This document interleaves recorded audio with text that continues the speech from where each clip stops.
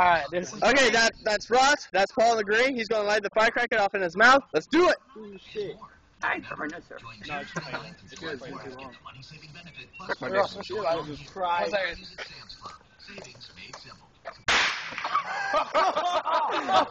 oh, it tastes like shit. Here. Here. Here. Thank you, Paul.